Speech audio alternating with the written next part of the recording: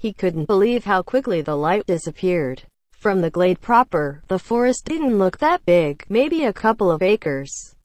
Yet the trees were tall with sturdy trunks, packed tightly together, the canopy up above thick with leaves. The air around him had a greenish muted hue, as if only several minutes of twilight covered only slightly since Thomas had seen him in the homestead. He wore nothing but shorts. His whiter-than-white skin stretched across his bones like a sheet wrapped tightly around a bundle of sticks.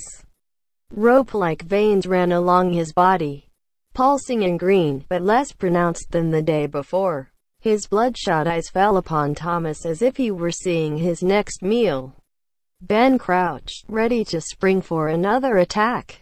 At some point a knife had made an appearance, gripped in his right hand. Thomas was filled with a queasy fear, disbelief that this was happening at all. Ben, Thomas looked toward the voice surprised to see Alby standing at the edge of the graveyard, a mere phantom in the fading light.